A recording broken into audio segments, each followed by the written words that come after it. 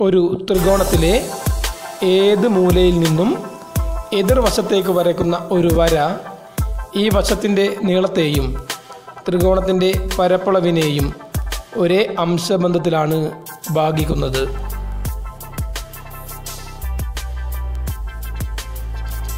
A line from the vertex of a triangle divides the length of the opposite side and the area of the triangle in the same ratio.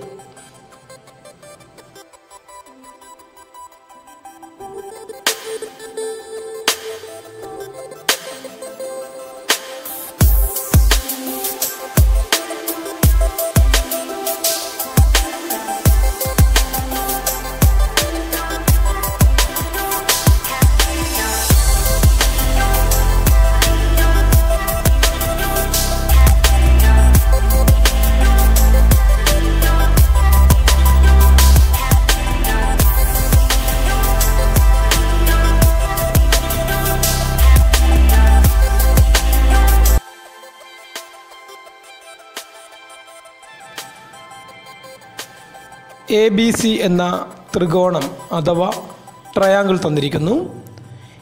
ഈ ത്രികോണത്തിന്റെ പാദം അഥവാ base ആണ് B C എന്നത്.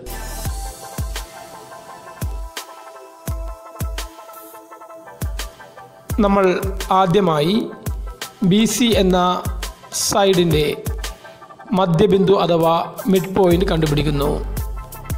D എന്നതാണ് B സിയുടെ mid point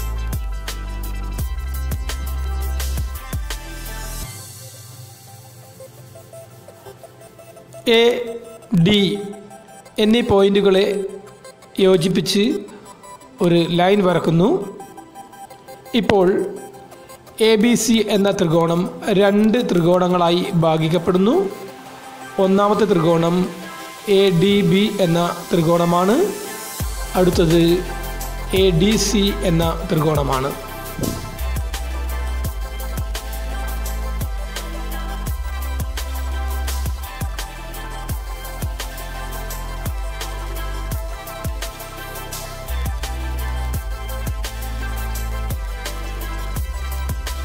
A D B എന്ന ഒന്നാമത്തെ ത്രികോണത്തിന്റെ പാദം അഥവാ ബേസാണ് ബി ഡി ബി ഡിയുടെ നീളം ഒൻപത് യൂണിറ്റ് ആണ്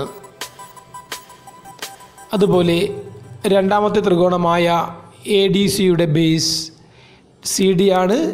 സി ഡിയുടെ നീളം ഒൻപത് യൂണിറ്റ്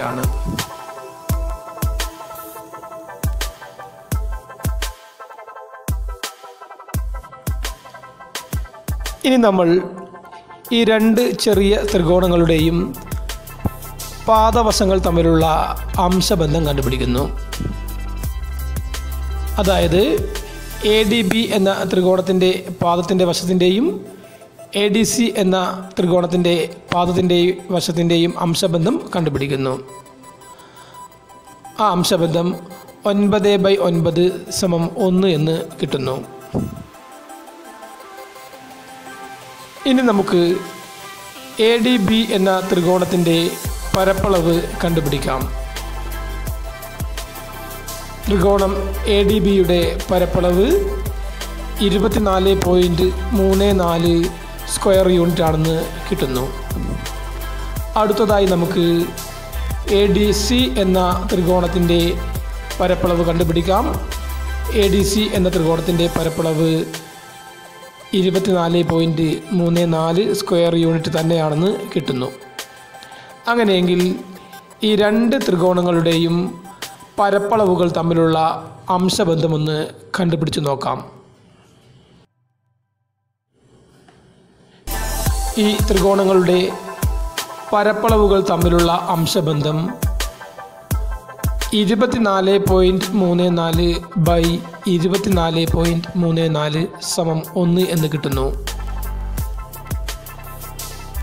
അതായത് എ ബി സി എന്ന ഈ ത്രികോണത്തിലെ എ എന്ന മൂലയിൽ നിന്നും ബി സി എന്ന എതിർവശത്തേക്ക് വരയ്ക്കുന്ന എ ഡി എന്ന വര ഈ വശത്തിന്റെ നീളത്തെയും ത്രികോണത്തിന്റെ പരപ്പളവിനെയും ഒരേ അംശബന്ധത്തിലാണ് ഭാഗിക്കുന്നത് എന്ന് കിട്ടുന്നു.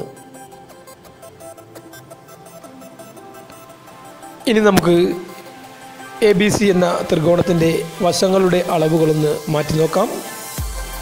എ ബി സിയുടെ വശങ്ങളുടെ അളവുകൾ മാറുമ്പോൾ ചെറിയ ത്രികോണങ്ങളായ എ ഡി ബിയുടെയും എ ഡി സിയുടെയും വശങ്ങളുടെ അളവുകൾ മാറുന്നു. രണ്ട് ത്രികോണങ്ങളുടെയും പാദവശങ്ങൾ മാറുന്നു.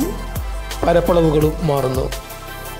എന്നാൽ ഈ രണ്ട് ത്രികോണങ്ങളുടെയും വശങ്ങളുടെ അംശബന്ധവും പരപ്പളവുകളുടെ അംശബന്ധവും ശ്രദ്ധിക്കുക. രണ്ട് അളവുകളും മാറുന്നതായി നിങ്ങൾ കാണാൻ കഴിയില്ല. രണ്ട് അളവുകളും സ്ഥിരമായി തന്നെ നിൽക്കുന്നതായി കാണാൻ കഴിയും. അതായത് വശങ്ങളുടെ അംശബന്ധവും പരപ്പളവുകളുടെ അംശബന്ധവും തുല്യമാണെന്ന് നമുക്ക് കാണാൻ കഴിയും.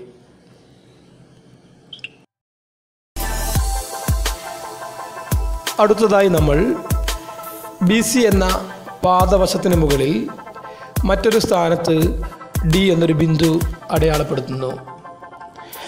നേരത്തെ ചെയ്തതുപോലെ എ ഡി എന്ന വര വരയ്ക്കുന്നു.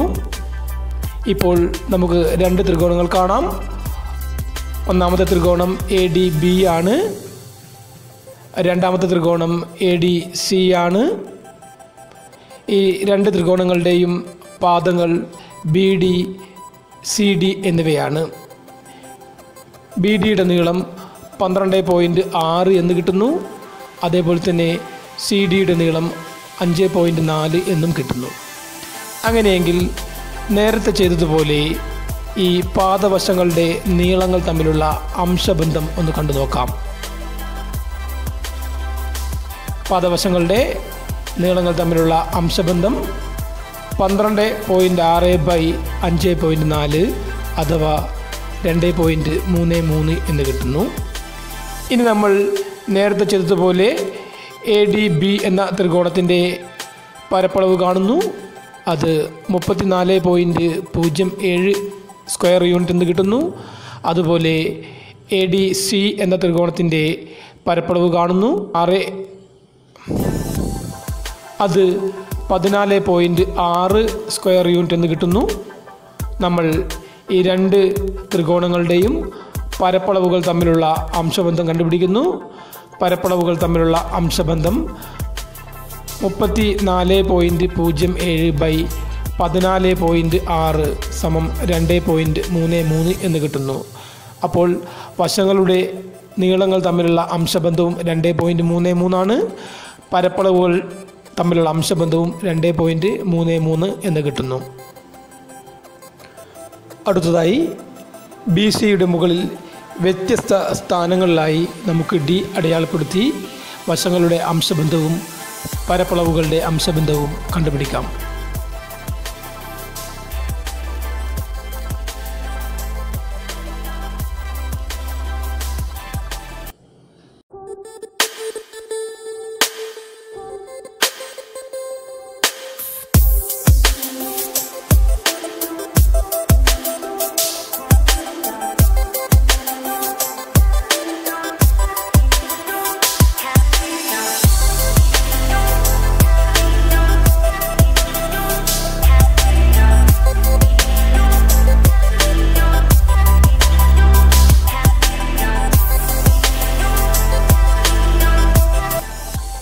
ഇപ്പോഴും A D B A D C എന്നീ ത്രികോണങ്ങളുടെ പാദവശങ്ങൾ മാറുന്നു.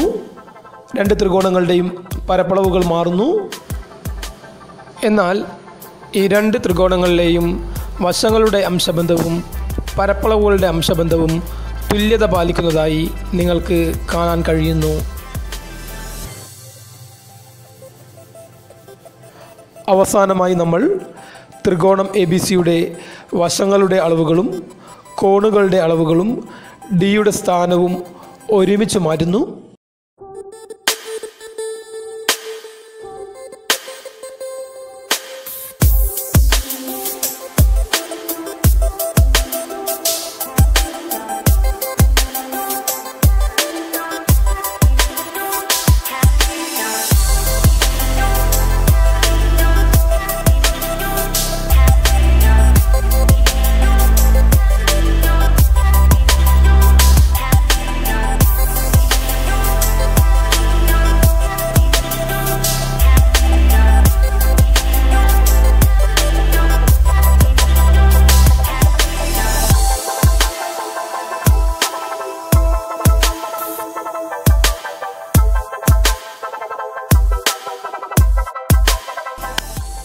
ത്രികോണം എ ഡി ബിയുടെയും ത്രികോണം എ ഡി സിയുടെയും പാദവശങ്ങൾ മാറിക്കൊണ്ടിരിക്കുന്നു.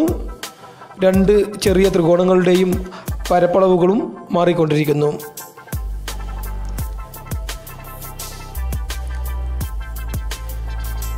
ഈ മാറ്റത്തിനനുസരിച്ച് വശങ്ങളുടെ അംശബന്ധവും മാറുന്നു. പരപ്പളവുകളുടെ അംശബന്ധവും മാറിക്കൊണ്ടിരിക്കുന്നു. എന്നാൽ ഈ രണ്ട് അംശബന്ധവും എപ്പോഴും തുല്യമായിരിക്കുന്നതായി നിങ്ങൾക്ക് കാണാൻ കഴിയുന്നു. ഒരു ത്രികോണത്തിലെ ഏത് മൂലയിൽ നിന്നും എതിർവശത്തേക്ക് വരയ്ക്കുന്ന ഒരു വര ഈ വശത്തിന്റെ നീളത്തെയും ത്രികോണത്തിന്റെ പരപ്പളവിനെയും ഒരേ അംശബന്ധത്തിലാണ് ഭാഗിക്കുന്നത്. A line from the vertex of a triangle divides the length of the opposite side and the area of the triangle in the same ratio.